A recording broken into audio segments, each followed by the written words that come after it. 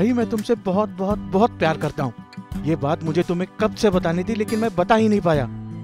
राही, क्या तुम मेरे साथ अपनी ज़िंदगी बिताना चाहोगी?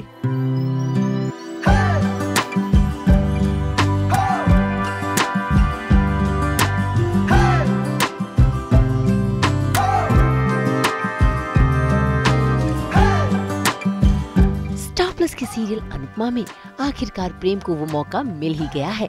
अपने प्यार का इजहार करने का। असल में जिस शादी में प्रेम और राही दोनों गए थे, वहाँ पर राही खतरे में पड़ जाती है, क्योंकि वहाँ आग लग जाती है और राही का तो आग से पुराना नाता है। ऐसे में डरी हुई राही को प्रेम बचाता है।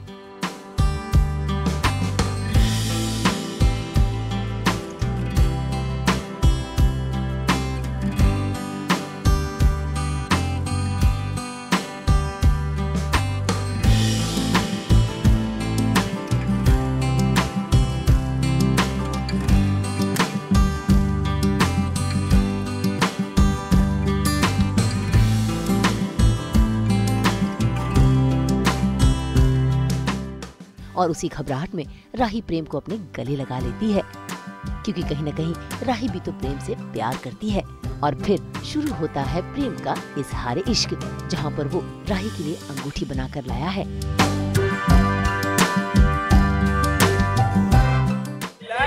है। आपको मैं कुछ नहीं होने दूँगा। आपको कुछ हो गया तो मैं जी नहीं पाऊँगा। जान चली जाएगी मेरी, क्योंकि प्यार करता हूँ मैं आपसे। बहुत ज़्यादा प्यार करता हूँ।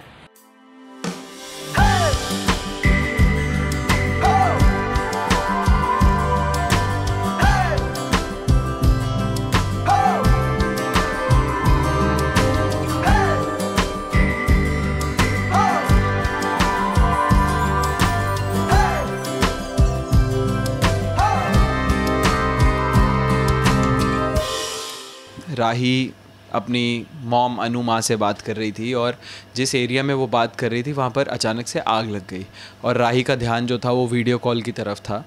तो आग लगी और राही को पता नहीं चला और राही का एक पास्ट ट्रॉमा है, रह चुका है कि वो आग से जो आद्या का ट्रॉमा था तो वो राही एकदम सुन पड़ गई, उसे समझ नहीं आ रहा क्या किया जाए। और प्रेम उस वक्त अपने एक प्यारी सी अंगूठी बनाकर क्योंकि उस टाइम उस पर उसके पास कोई अंगूठी नहीं थी तो फूलों की एक अंगूठी बनाकर प्रेम आता है उसको देने के लिए बट जैसे ही वो देखता है तो वो भागता हुआ जाता है और उसे उठा के राही को एक सेफ़ जगह पर लेकर आता है। तो वो उस आ, उस आ, डर में उस फियर में उस उस उन उस सारे माहौल में प्रेम उसे बोल बोलते बोलते बहुत कुछ बोल देता है। और फिर प्रेम को लगता है कि जब उसने इजहार कर ही दिया है तो फिर पूरा किया जाए। तो वो बहुत कुछ बोलता है राही को, अपने दिल की हर तरह से बात बताता है।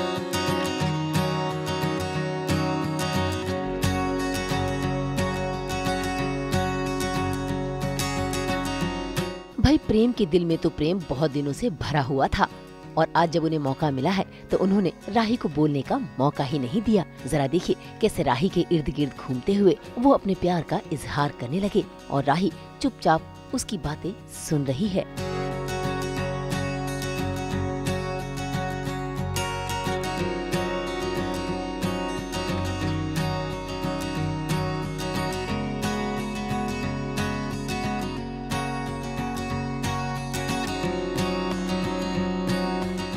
मुझे लाइफ में कोई ये सिचुएशनशिप नहीं चाहिए। एक अच्छा सा, प्यारा सा ओल्ड फ़ैशन रिलेशनशिप राधा और कृष्ण वाला। इस प्रेम को, वही प्रेम हो गया। ये प्रपोज़ल सीन था और कम से कम पंद्रह मिनट का तो होगा कि मैं राही को प्रपोज़ कर रहा हूँ, उसे बोल रहा हूँ, अपने मन की बात बोल रहा हूँ। और उसके बाद राही को समझ ही नहीं आ रहा है कि वो क्या एक्सप्रेस करे। मतलब गुस्सा, प्यार बहुत कंफ्यूज्ड है वो एक तरह से ना तो वो क्या करती है, मेरी जीप लेके चल, चली जाती है। तो आ, मैं बस उसके पीछे एक स्केट बोर्ड पर गाड़ी को पकड़ के आ, उसके पीछे जा रहा हूँ। जो आई थिंक अगर आपने बीटीएस बनाया होगा तो आप देख भी लेंगे कि वो असली में हमने किया। स्केट बोर्ड पर हम आ, उसको पकड़ के गाड़ी को पकड़ के मैं उसके पीछे पीछे जा रहा था।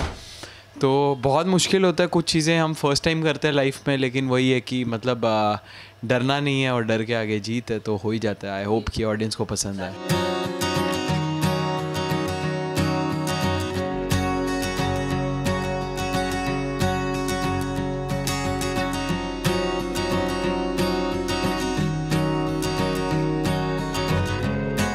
फ़िलहाल तो राही खामोश है और उसने प्रेम के इजहार का इकरार नहीं किया है। लेकिन जल्द ही राही अपने प्यार का इजहार ज़रूर करेगी, क्योंकि यही तो लेकर आएगा कहानी में नया ट्विस्ट